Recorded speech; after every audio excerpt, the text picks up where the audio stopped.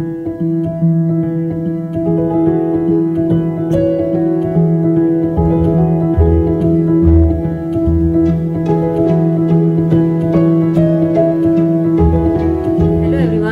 back to my channel आज मैं आपके सामने एक प्लांट जो मैंने बिल्कुल नया नर्सरी से बाय किया है, उसे रिपोर्ट करना बता रही हूँ। और उसी के साथ अगर वो प्लांट इस ट्री लाइक शेप में है तो उससे हम एक छोटा सा मिनिएचर गार्डन भी बना सकते हैं, वो भी आपको दिखा रही हूँ।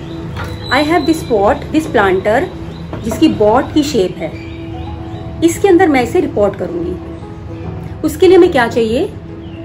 एक प्लांट कोई भी ट्री लाइक प्लांट बोन्जॉई या कोई भी छोटा सा प्लांट वो चाहिए। कुछ छोटे से miniature toys like this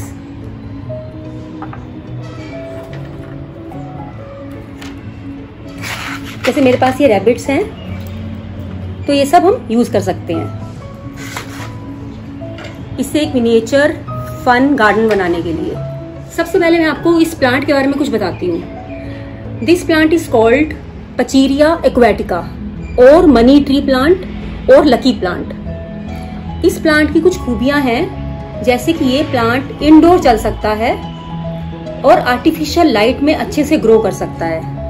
according to फैंशुई ये प्लांट अगर साउथ ईस्ट डायरेक्शन में रखा जाता है तो it attracts money and good luck otherwise आप इसे कहीं पे भी रख सकते हैं, कहीं पे भी प्लेस कर सकते हैं। जब नर्सरी से इस प्लांट को लेते हैं तो ये दो तरह से मिलता है। एक तो इस ट्रंक लाइक शेप में and second is braided trunk होती है उसकी। ब्रेडेड यानी जो गुत्त की तरह गुंथी होती है। उसमें क्या होता है कि दो तीन प्लांट्स को इकट्ठा प्लेस करके ब्रेड कर दिया जाता है। So I have this plant तो let's start to make this plant as a miniature garden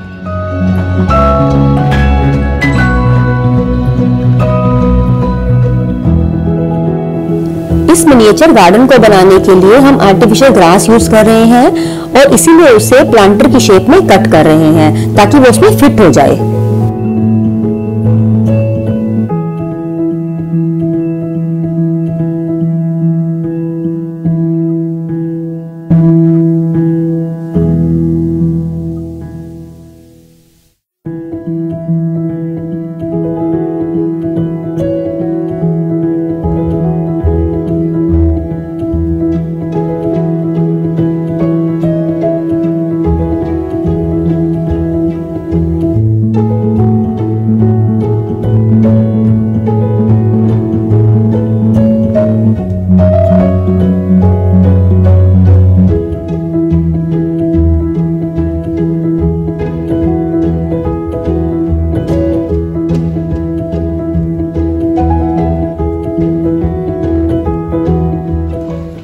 जैसे कि आप देख रहे हैं कि मैंने इस ट्री लाइक प्लांट को एक साइड पे प्लेस किया है। सो so दैट इस जगह पे हम थोड़ा सा गार्डन की लुक देंगे।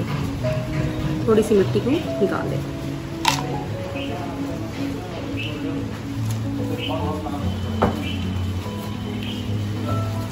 ये आर्टिफिशियल ग्रास है।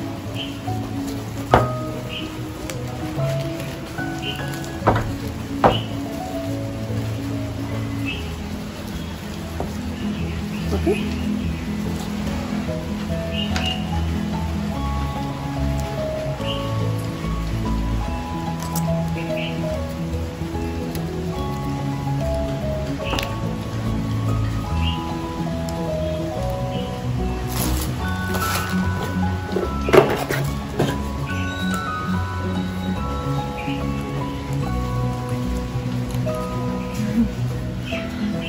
okay fence is placed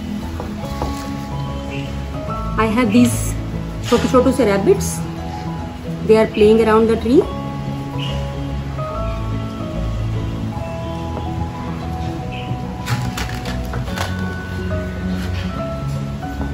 okay अब ये इस गार्डन में कुछ स्टूल्स जिस पर people are relaxing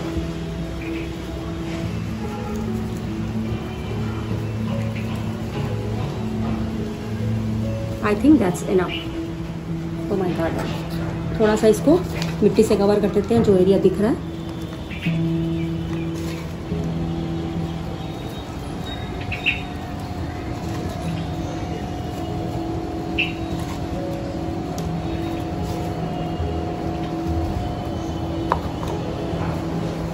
so our tiny mini सा garden relaxation garden is ready सभी